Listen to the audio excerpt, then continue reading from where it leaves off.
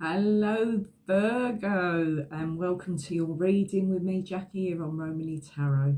I'll be reading, doing your reading for September 2022 and uh, yeah, as I say, let's get on with the reading my lovely Virgos. I do hope that you are all well and uh, life is treating you well in some way, okay? Um, as I say, we're all going through our own separate journeys these days. And uh, of course, we are no exception, Virgo. So let's get on with the reading. Okay, so always look at the um, planet or moon activity going on for the signs through the month. And uh, the first thing we're going to look at is Venus Okay, there we go. We have the Venus card. So we have Venus uh, entering Virgo on the 5th of September. So this energy here. So this energy must learn to relax and enjoy the moment and not kill it. So be careful. Okay, and this could be done. It's, it's funny, you can kill the moment when you start um, bringing up the past. Uh, and if you're with someone it's, it's just safe because it's coming through here a little bit strong as well about um, relationships in uh, September's readings. So we could be looking at um, talking about your exes or you know stuff like that. So you've got to be careful Virgo. Okay. Not everything needs too much thought. Okay. So that's what we need. So you don't need to overthink anything Virgo and relax and uh, enjoy the moment. Don't think about it too much, whatever you're doing. And this goes for your work, you know, your relationships, your um, in your life, whether it's with your family, you know, your work relationships, you know, your own work, whether you work for yourself or with uh, somebody in your life. So it's about, you know, sort of living in the moment, enjoying the moment with that uh, Venus, Virgo, Venus in Virgo. okay. Okay, with that energy as well, we can be, um, before I go on, I'm going to explain myself because we can be a little bit, um, what can I say? I don't want to say prudish. I don't want to say we're, we're, we're prudish, but we can be self-conscious of ourselves. You know, it could be just something about ourselves that we hide or we, we try to cover up. And this is a time, I feel, for everybody, not just Virgos, but everybody to sort of, it's about authenticity. It's about being, you know, being who you are and embracing who you are. You know, warts and all. So don't um, don't hide yourself, Virgo. There's nothing to hide. Don't doubt yourself. That's coming through very strongly for you. Uh, I feel for, you know, for the last few months maybe, you know, you're still doubting yourself, doubting yourself. You still feel feeling you're having doubts about, um, you know, what, what you want to do, where you're going in life. Are you doing something right? Are you doing something correctly? You know, is it good enough? So we're over analysing uh, situations and things in our lives. Okay, so on my notes, of course, I do write my little notes down here. I've got nothing to hide. okay, so the 10th of September is when we have a full moon in Virgo. So this is our full moon. So, um, of course, these are my make cards. So here we have, of course, the writings back to front. I will, before I carry on, I will um, really try to um, do start doing a reading on my do the doing the readings on my uh, computer. So I need to get a new webcam and get that set up and be instructed because I'm not very good at technology stuff. Um, I'm a bit rusty in that field um, yeah, so we have a Virgo full moon, as I say, on the 10th of September. Uh, having high standards is a good thing, but remember to interact and integrate with people.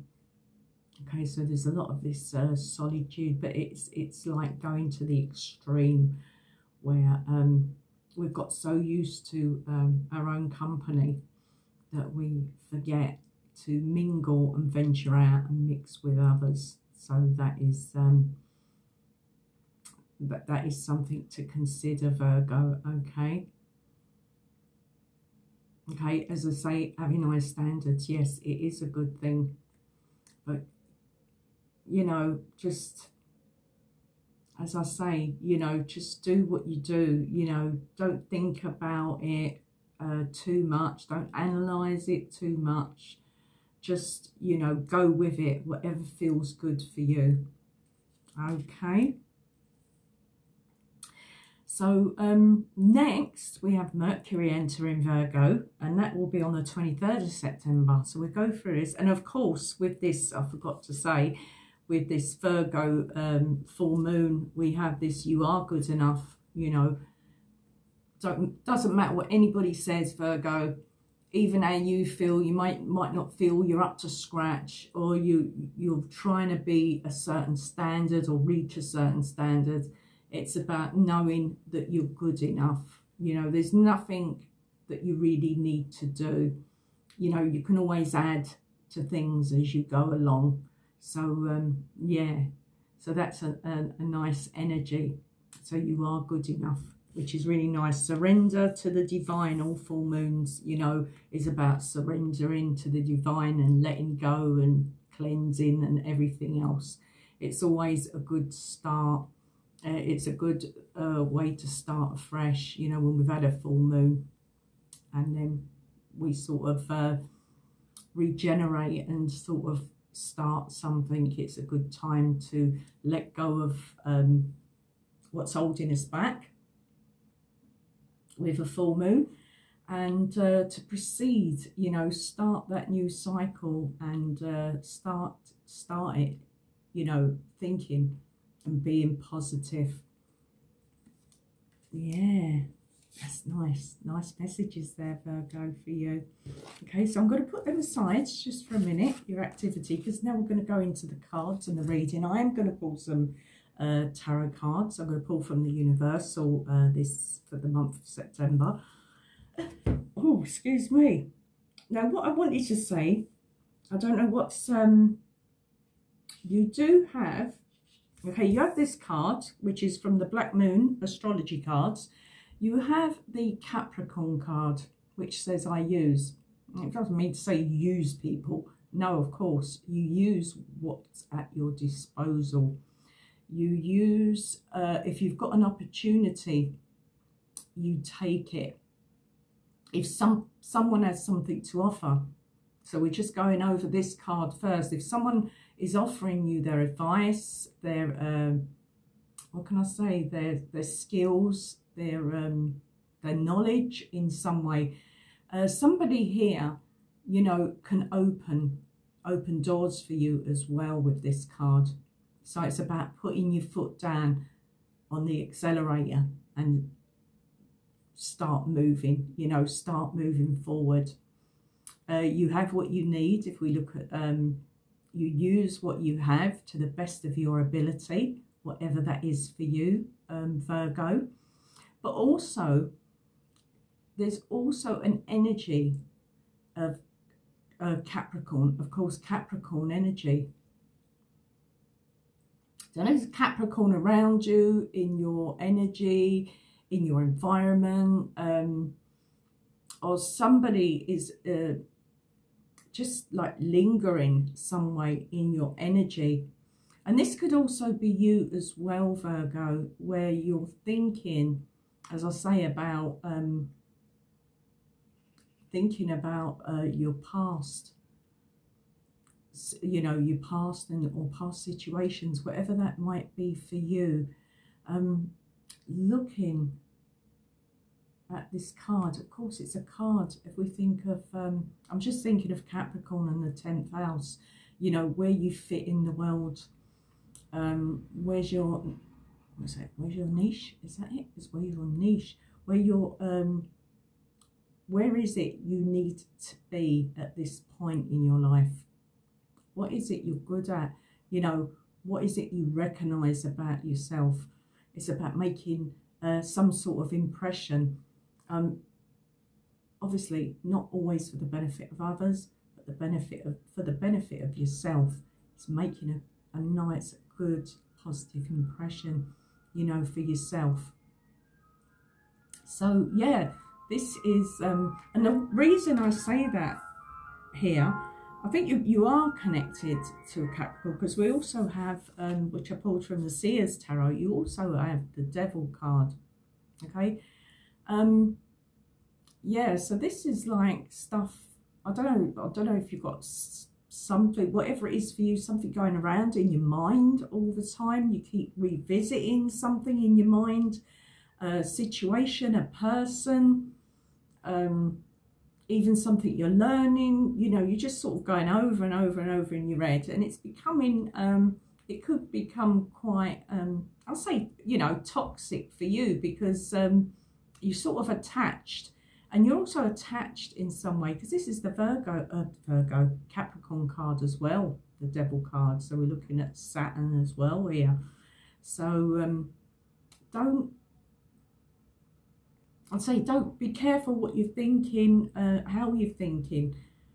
Don't let something uh, bring you down. Don't let something pull you down. Let, let anybody or someone's attitude towards you, um, maybe uh, the way they speak about you and it gets back to you in some way. So it's, it's about someone's attitude. And this could also, in a positive, because it's not all negative here, so uh, I'd say on a positive sense, uh, for some of you, you have a Capricorn because we have the uh, ring. Then we move on here to the ring card from the Lenormand. Okay, so the ring is all about, um, it's about contracts. It's about commitment. It's about uh, an agreement, promises, stability. It's about keeping your word uh, seeing something through, a proposal, a gift, or accomplishments. So this card covers all those sorts of, uh, you know, we could be looking at all those words here with the ring. So something here, I think some of you are, I mean, some of you could be married to a Capricorn. Uh, some of you could be uh, committing, I think, or you're committed in some way. And this could be karmically as well. So um, but on the positive side, uh, some of you are in Capricorn energy. Uh, yeah, because we do have, of course, that Capricorn card there as well from the Black Moon astrology uh, cards. So that's coming through very strongly. And this commitment is coming through. So some sort of commitment. It could be to uh, a person. It could be to uh, your work. You know, you're committed to your work you're committed to your family, you're committed to a person, or you're going to commit. You're going to make some sort of commitment here. And for others of you, if it's not that, it's about getting this energy or drop, trying to release this energy that's attached attached to you in some way from someone who is toxic or from the past, I would say, you know, somebody that you was involved with. And it's still there, it still lingers, it's still, you know, sort of there in your mind somewhere. Okay, so let's have a look. So we're looking at, uh, of course, with the ring, more serious commitments. Um, we talked about soul contracts. And then we move on um, as I say, you could be doubting yourself. Uh, as I said earlier, you could be doubting yourself. This could be to do with your work and your relationships. So, uh, as I say, don't be a prisoner. Don't be a prisoner. That's the word I put down. Don't be a prisoner of your past. Okay, Virgo, just look uh, to a positive, you know, look positively into the future. So, uh, already some really um, nice messages and sort of like a, a, a thumbs up. What they say, a thumbs up, a heads up, a heads up for you in some way. Okay, so the other energy we have here. So someone is seeking the truth in a situation because we've got my other, this is my other, uh, I've done these last night, my own made deck, questions and answers. So this is, um, this, this is the number seven. Very mysterious, mystical number is the number seven. But it's also a number of, uh, if you are a life path seven, just for example, so if you were born on, doesn't matter what month you were born, but of course for you, Virgo, it does because I nearly slipped up there. Silly me. Yes, Virgo, if you were born on the 7th, the 16th or the 25th of September, yeah, that's what I meant to say, then maybe this reading's for you. Okay, someone's seeking the truth. So you are seeking some sort of truth about a situation whatever that is for you, you know, you know what that is, Virgo. Okay, very intelligent. Virgo's very intelligent, more than they give themselves credit for. Okay, you're original, you're a one-off, um, but you are loners, of course, with that hermit. You know, it hasn't come up yet, but we have that loner energy here with the number seven. Analytical, of course, observant, scrutinizing, you know, like figuring things out. So we've got all that sort of energy. So uh, if you are seeking some sort of truth or answer in a situation with this card, I feel um, it won't take you too long to figure out what's going on or what's what in a situation. Okay, Virgo, so that's really nice. Okay, so I'm going to pull some tarot now for you. Okay, so I'm going to pull one for the, uh, we've got two Capricorns. We want to know what this commitment is because we have some sort of commitment here. So we're going to pull a card for each and see what happens. So we're going to have a look at this card first. And I'm going to um, put this card next to it because we're going to see what this energy here is here. And we're going to see what this contract, whether it's karmic um, soul, you know, karmic soul contract or a contract or an agreement or some sort of commitment. We're going to have a look and see what comes up here. So why is the Capricorn Black Moon card here? Thank you.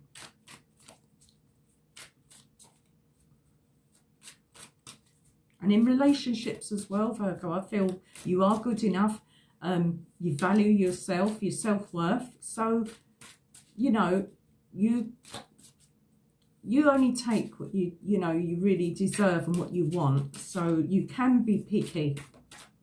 Because I feel last month uh, you, you've got a choice. It's like you've got, it's like a, a big, big container quality street. You know, you've got, you know, you, you, you've got a, a pick there, a choice, you know, what one you like, you know, what one takes your fancy, what one you like the best.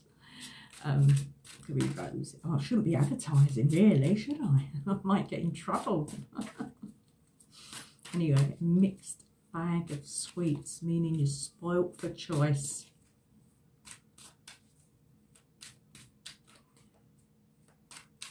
I do feel there's someone you've got your eyes on.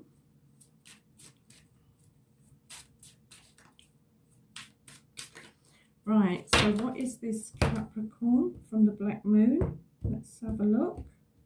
What is this Capricorn card from the Black Moon? Oh, great. You've got the full card. Um, also Uranus energy here.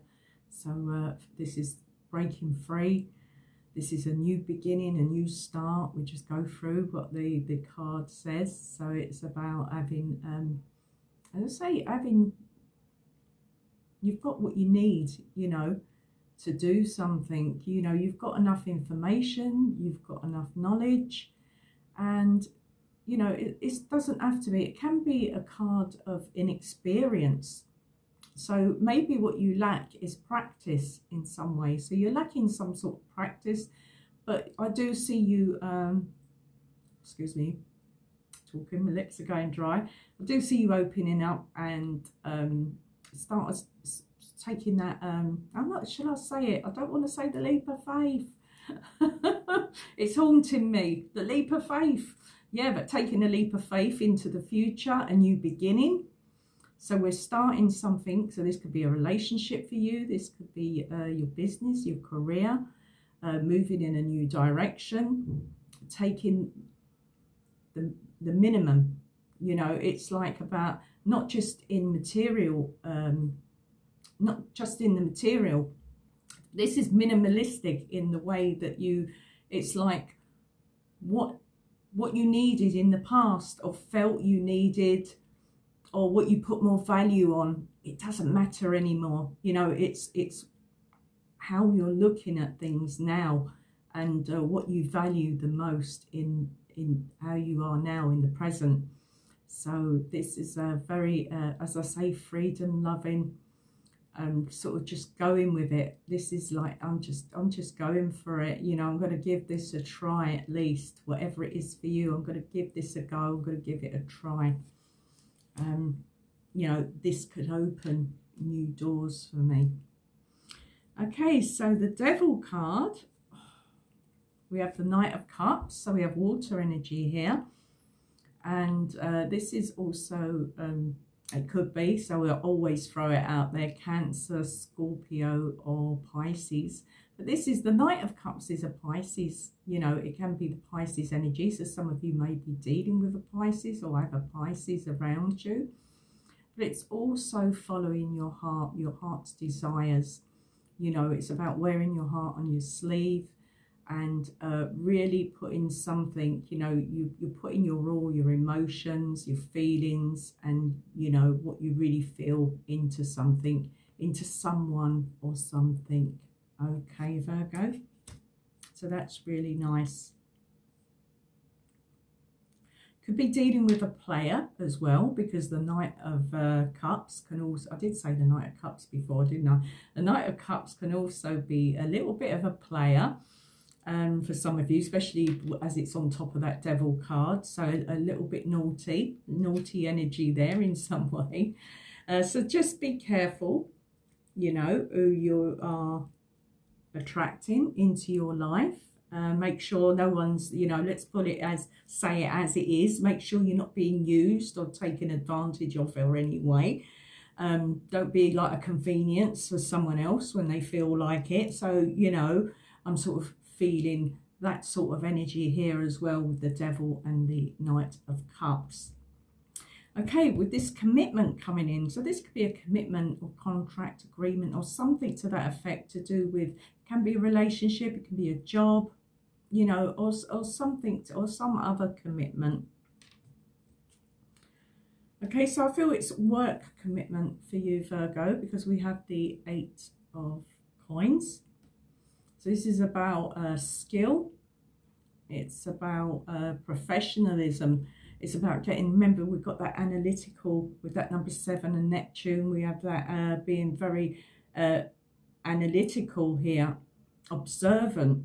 So it's about, it's about the attention, paying, what is it? Attention to detail. That's what I want to say. So you, you, you're not really missing anything. You're perfecting something. And um, I'd just say with this energy, I mean, you're committed, Virgo, to whatever you're doing, 100%. And I feel this here. And um, this could also be a relationship as well. But it's something that you're really working on, bless you. Um, you're really working hard. You're doing your best. You're trying to do your best. And uh, yeah, so you know you're really putting your all into something virgo and um, you're giving really giving something a go so that's really nice. But don't, don't overdo it, okay? So just, you know, take a step back sometimes and, you know, just let something happen. Uh, let something happen naturally, authentically. Um, you know, what is, what will be, will be. You know, what what's meant to be will be. And what isn't, well it won't it'll fade you know it'll, it'll go so um, we want the negative to to fade away you know to, to go away and we want the positive to come in okay let's have another look hmm yeah i feel you've been struggling virgo as well here with this uh, five of pentacles I feel there's been a struggle. It's been a hard slog, um, a hard struggle for you, you know, through your life as well, maybe through your life, a certain area of your life. Um, maybe you felt um, isolated or left out in some way. And it's like the energy I'm picking up, it's like you, you're so used to being on your own now, you're so used to being by yourself that you don't know, you know, it's like you've got comfortable with it. You've really got comfortable with it. Um, but no, you deserve so much better, so much more, you know. Um, as I say, this energy as well, there could be somebody holding you back. Um, somebody pleading, as they pleading uh, poverty around you, taking, you know, taking advantage. So someone, it may be trying to take advantage you in some way it's like poor me, and I don't mean you, Virgo, someone around you is uh, sort of trying to plead poverty, but they're not. They're not. Then they're far from being uh, hard done by in some way. So just uh, just try and release that energy here, because what you have, you work hard for. So we don't want someone coming along and sort of taking advantage of, of you, whether it's uh, you know with your money, you know, with how much work you do. You know, someone's trying to get their money's worth, or even in a, a connection, an intimate connection. Okay, yeah, so boss up at the bottom of the deck, we have the Emperor. Yeah, so this is uh, leadership, being your own boss. Um, yeah, taking the lead in some way, some sort of leadership here and uh, I think just being, uh, let's say, master, master of your own, master of your own destiny, master of your own life. You're your own boss. You haven't got anyone to answer to but yourself. Okay, Virgo. So that's really nice messages coming through there. And um, yeah, I leave it there for now. Uh, yeah, I usually do uh, at least a good half an hour, maybe maybe longer sometimes. Um, as I say, I really hope you enjoyed the reading. If you didn't, it resonates with you, please give me a like, you know, and subscribe. That would be really good. Um, if it didn't resonate, then maybe next month's will. So always, um, always, you know, have a look at your next reading because if it's not for you this time, it might be for you next time. Okay, okay. As I say, I can't reach out to everybody, every single Virgo out there. So um, this will be for a collective of you. Um, remember, it's a general reading, not a private reading. And uh, I look forward to doing your next reading for October, Virgo, very soon. Please be kind to yourself, take care of yourself, and uh, don't be too hard on yourself either, okay? See you soon. Bye, Virgo.